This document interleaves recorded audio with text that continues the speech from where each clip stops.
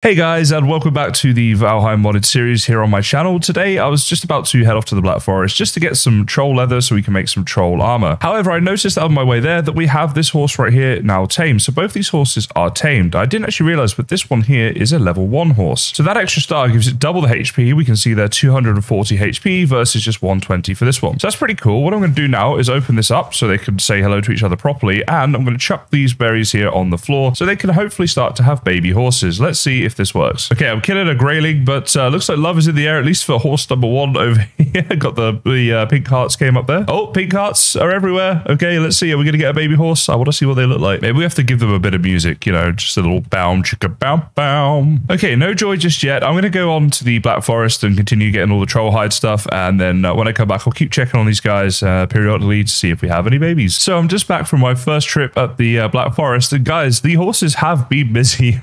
so as you see here, we have this horse offspring right here. And wait, why does that? Oh, no, okay. I was like, they, they, look quite big. That's the thing. But there actually there are two offspring. One is a one star and one is not a one star. Oh, hello. Yes. Okay. So I knew the horse offspring would run away from you. I didn't know they got aggroed though. So we have to actually tame them back up again. So I might need to pick up some blueberries while I'm in the Black Forest. Yeah, pretty cool. We're getting a decent amount going here. The fact that there's two already is awesome. What I might need to do though is extend this pen out. So I think I'll do that off cam and uh, make a nice big pen so we can get a load of horses together. Of course, the goal of all this is to basically farm them so we can get all of the leather that we need and then make up a horse saddle and ride them around, which should be pretty fun. So if all goes to plan, that will happen later on in this episode. But for now, I'm going to get back to resource grinding and making that horse pen a little bigger. So guys, I found myself a load of different animals here, and this must be from the farmyard animals. Got these here old spots. I don't know what an old spot is, but they look like this. I mean, basically they're pigs, I think, right? They, they, that's sort of what they look like. And he just made a pig noise. I think pig confirmed. But then look at this down here as well. We got cows. Oh, okay. The cow's not happy with me. He's going to attack me. He's not as friendly as the old spot. Uh, okay. Well, so there's a load of farmyard animals here. This is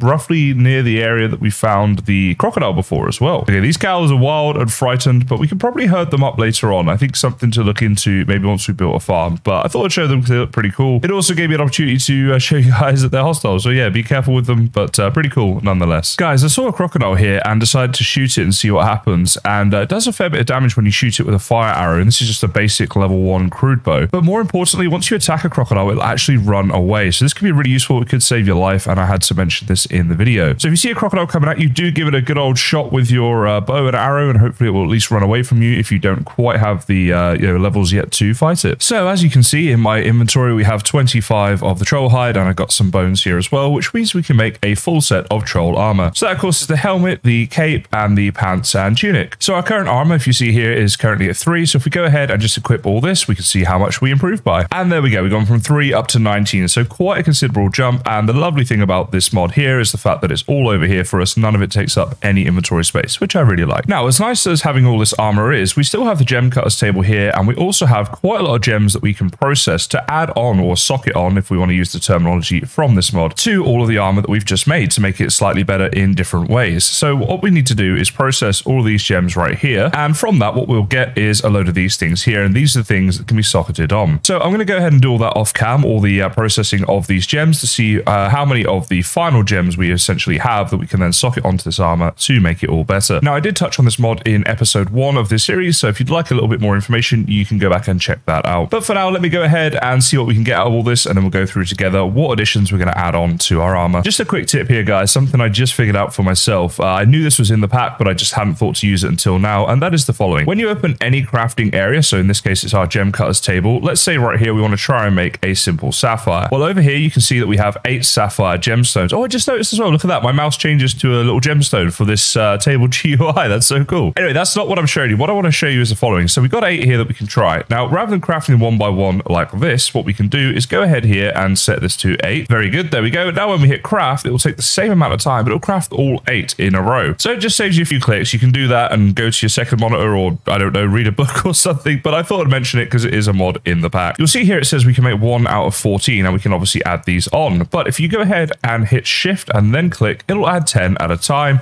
And then you can shift and minus to remove 10 at a time. And if you go and control click, it'll bring the total there up to 100. So at that stage, you can hit craft and chances are you're not going to have 100 of these things or even any other thing that you may be crafting up. So adding 100 basically is going to mean like that's just do everything. You know, it kind of works like that. So yeah, just a couple small things there to mention for you guys. So I just realized when you start out in this mod, you have a 50-50 chance of socketing uh, an item. And if it fails, it says down here, then the item will be destroyed. Now, because I've been leveling up my skill within this mod, I've got a 51% chance. So I'm slightly a favorite to, you know, get at least two of these, uh, you know, socketed. But there is also a good chance we're going to destroy them. So I'm going to try it for each of these four items. And hopefully if we get two of them, I will be happy. But then we might have to go and find ourselves some more troll hide and stuff after that. So let's give it a go and see how we do. Starting here with a helmet, let's go add a socket and see what happens. Boom. Okay, helmet's good. That's a great start. Now we'll try the tunic. Oh no, it was destroyed. Okay, well, that's one on one. That's what we would expect. Uh, now we've got the, let's do the cape next. I feel like this one's going to work and this one is the more difficult one to make, I think, right? Okay, here we go, cape. Oh, it's been destroyed. Okay, well, please give me the pads. That's a 50-50. Surely I deserve that. Oh, come on. What is my luck? 25%? I guess I need to go kill some more trolls. So basically, I'm going to keep repeating this process, guys, until I have sockets on all four items, and then we'll see what cool things we can add on to them. And I blooming hope it's worth it, because this is going to take me some time. In the last episode, we talked a little bit about vein mine, and I said about how it works on copper ore, but it doesn't work on rock. However, apparently it does work on rock if you try on these bigger rocks. So let's see a second. Okay, yes, it did. Oh, that's actually awesome. So we're going to be able to get stones so much faster now. So I'd like to say a thank you to the people who mentioned this. There was actually three of you. Uh, so we've got here the Janutin, I think that's the right way of saying that, Juan Silva, and someone whose name I'm just going to call Unbelievable because it's a more PG way. but yeah, thanks for letting me know, guys. I appreciate that. And now everybody else who's watching this video will know as well. So I decided I actually want to make myself up a fine wood bow before we head off to the Black Forest, just to speed up the process of getting all this extra troll stuff that we're going to need. So I've got the materials on me here to go ahead and make a bronze axe. And this is going to be a really nice upgrade to have in the game because this stone axe just has been a little bit tedious. and so the next thing I'm going to do is go and obviously get myself some fine wood. And as this will be the first fine wood I'm getting in the game, hopefully there's a ton of new recipes and things unlocked as well. And while we're here, you see this horse enclosure is coming along quite nicely and we're getting a lot of horses, which is pretty cool. All right, guys, let's check out our first fine wood we're going to get in the game. And Crush is watching, so Alt 4, and here we go. Uh, there we go. Fine wood is in our inventory. So let's pick up the rest of the stuff. And oh my goodness, so much stuff being unlocked already. So obviously you get a ton of stuff unlocked just in the vanilla game by getting fine wood. But obviously uh, with all the mods we've got, we're unlocking just a ton of stuff. Of course, the thing I'm most excited to make is my fine wood bow. And here we go. We can finally make one of those. So definitely good to be upgrading our stuff as we go through here. I feel like I definitely need more weapon and armor and stuff like that, which is why I'm working on it in today's video. I'll be honest, I have died a few times off cam and it's been getting annoying.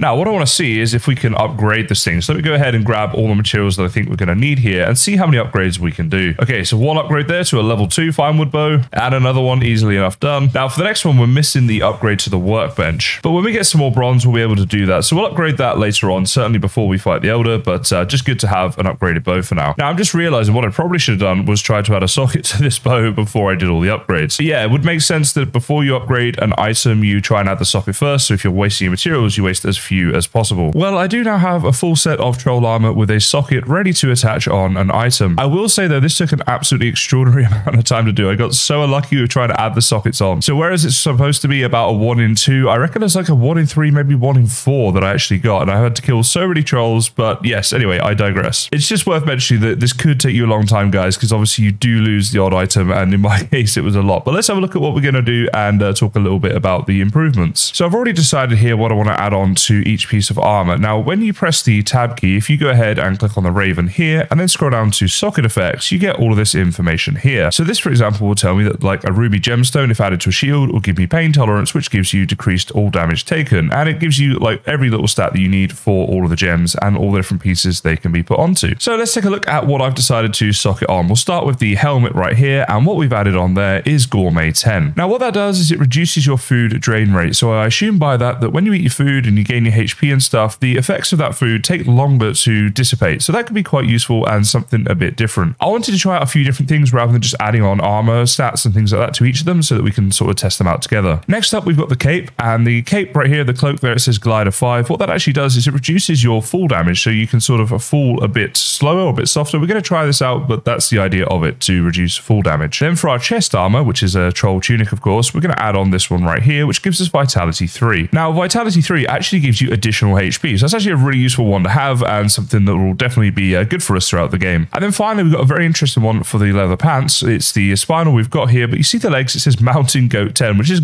great name for that. But basically what it means is you should be able to climb steeper slopes. And when we get to the mountain biome later on, that's going to be really useful. But for now, I just wanted to kind of try it out and have some fun with it. So I'm going to go ahead and add these sockets on to each of these, and uh, then we're going to try some of this stuff out on cam and see how it looks and how it works. So I want to try out this glider effect first on the cape. Now, if I jump off this rock, if I sprint and jump off, I would normally take full damage. So let's just see if I do this right here, what happens? Oh, look at this. You get little wings. yeah, that's actually really awesome. So it reduces all your full damage by giving you these little wings that flap. Let's try that again.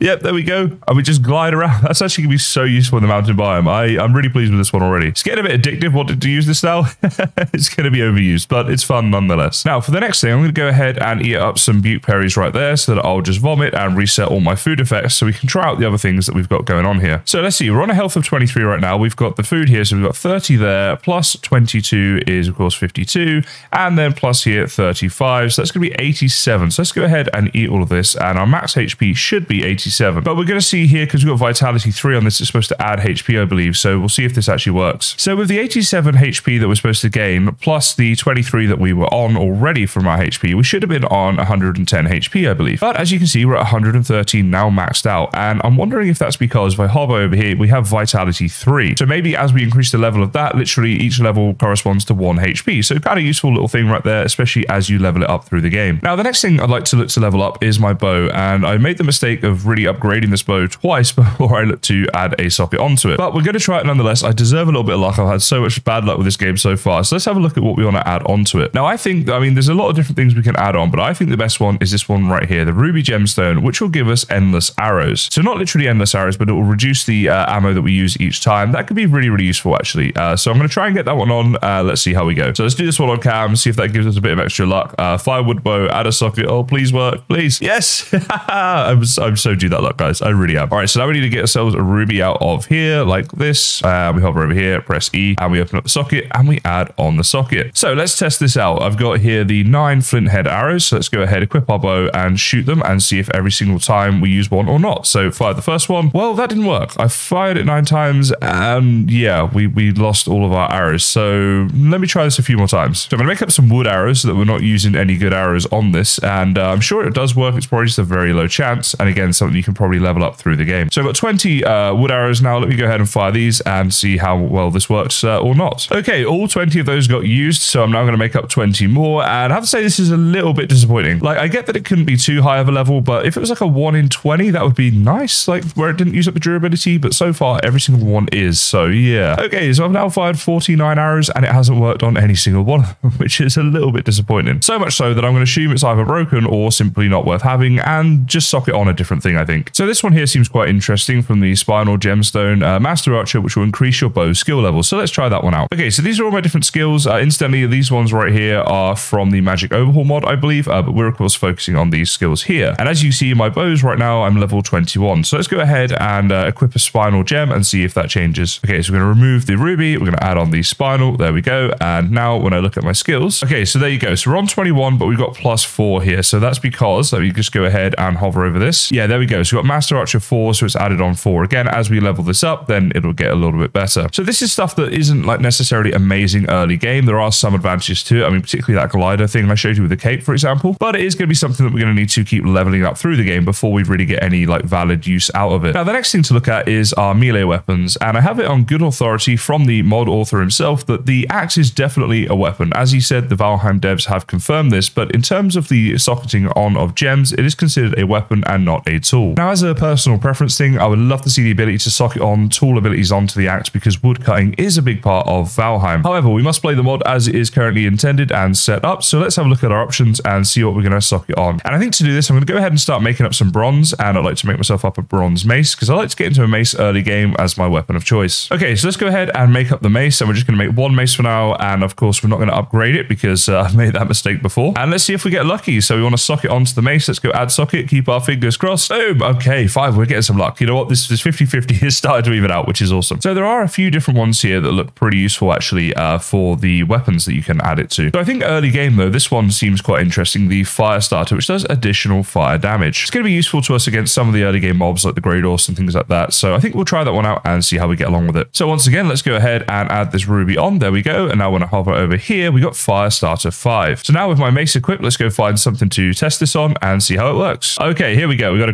Greydwarf over here. Uh, so let's go ahead and hit him and see what happens. Oh, look at that. It does. It sets him on fire. I was hoping it would do that. So there we go. Now that he's there, he's actually taking fire damage after we've hit him. So that is going to be really useful early game. Oh, it didn't work that time. Okay, maybe it's a chance thing. I'm going to try and get myself uh, into a Black Forest so we can find a load more Greydwarfs and try this out with a few different ones to see how this works. One nice thing about this glider ability is I can just run through the Black Forest and jump all over the place without any risk of damaging myself at all. So that means you're actually able to level up your jump really easily and also makes exploring a bit faster and a bit easier. So definitely thought it'd be worth mentioning that. Okay, we got a troll up here and this would be a great opportunity to test out whether this fire damage works or not because we'll be able to give him a good few hits. So let's go ahead and try this out. Okay, it's getting a little bit busy around here. I'm just doing a load of hitting, but we're not getting a very high percentage chance of this uh, fire effect. Okay, there we go. A hit there did do some fire damage to the troll. So it does seem to be working, albeit very slowly. So I would suggest that basically if we look over here, we got this fire start starter 5. That's probably about a 5% chance, which is of course 1 in every 20 hits on average, we should get the fire damage done. Now that's definitely not a lot, but I actually think it's a good thing for the early game if it is a bit of a lower chance like that. The reason being is we can level this up and it is a bit of an OP mod in different ways as well. So I think it kind of levels out, but let me know your thoughts down in the comments. So just having a look at the uh, tools sockets now that we can add on for our bronze pickaxe, and they're depicted by the little hammer here. So for spinel, you can see it decreases durability loss, which is one that we did in the previous episode that I talked about this. You have energetic over here, which will decrease stamina usage, but again, because we're running the Berserker from Magic Overhaul, we have infinite stamina right now. But that right now is the only two that we have available to us, so it's going to definitely have to be the spinel one. So once again, I'll sock it on cam, and let's see if we can get lucky once again with, let's see, our bronze pickaxe. Oh my goodness, we did. That's three in a row. All right, I'm no longer complaining about this. So let's grab a, a simple spinel out of here, and then we can go ahead and just socket that on and decrease the durability loss, which is definitely a very useful thing when you're gathering resources. So the final thing to do now, I think, is to make up the bronze buckler. I really enjoy having that one early game, and then see what we can socket onto there. So it costs us 10 bronze to make the buckler, so this socket could be expensive. Again, let's give it a go and see what happens. Figures a double cross for this 10 bronze. Oh my god. Okay, all right, you guys are lucky. I'm doing all this on cam from now on.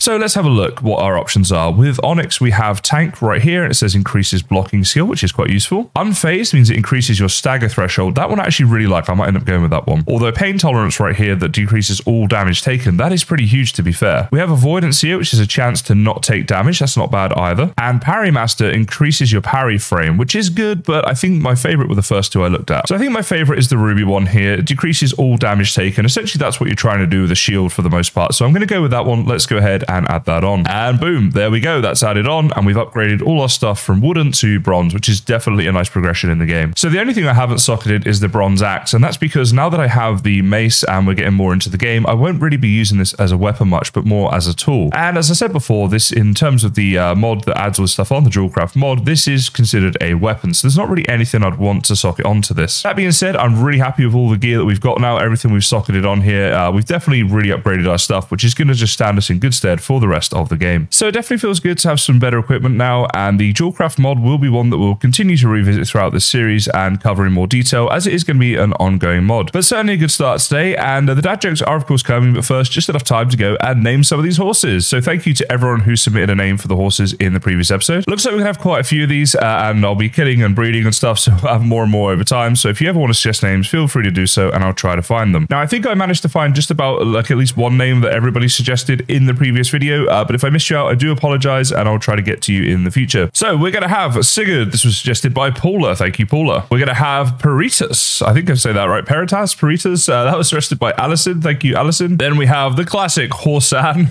Thank you for that one, Mateus. Then Parker over here. That was suggested by Adam. Thanks, Adam. Next, we have Sahara. Quite like this name, actually. That one was from Calum. Then we have Blitzen. That was suggested by Quentin. Thank you for that one, uh, Quentin. And we have Shadowfax, another cool name. Thank you for that one, Eduardo. So there we go. Still a few horses left that we can name, but uh, plenty going on here for now. I did mention at the start of this episode that uh, we'd perhaps get into saddles and that sort of thing today, but it doesn't quite look like that's going to happen. And the main reason for that is because I'd actually like to build a proper farming area, not just for horses, but for some of the other animals we looked at today. Like if we get cows and pigs and things, that would be awesome. And also get some of the crops done. Like I've got carrots and things I could be planting and some modded crops as well. So I think a whole farming episode would be warranted. Anyway, thanks for watching, guys, and here come the dad jokes. What animal needs to wear a wig?